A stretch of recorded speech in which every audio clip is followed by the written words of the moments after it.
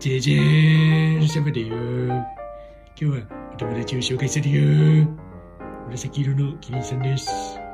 こんにちは、紫色のキリンです。キリンさんはね、うちの赤ちゃんの遊び仲間の一人なんだ。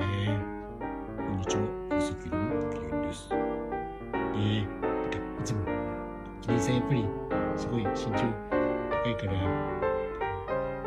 もしかしたらカメラから頭が見切れちゃってるかもしれないね。こんにちは、紫色のキリンです。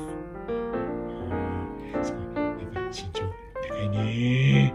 なんか足もカラフルだし。こんにちは、紫色のキリンです。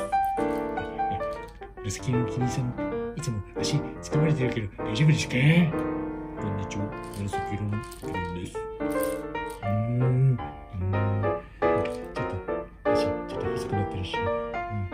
うん、なんかすごい掴まれてる感がありますね。こんにちは、紫色のキリンです。うんこれから何回かの動画にちょっと出てもらう予定だから、ちょっとみんなチェックよろしくね。こんにちは、紫色のキリンです。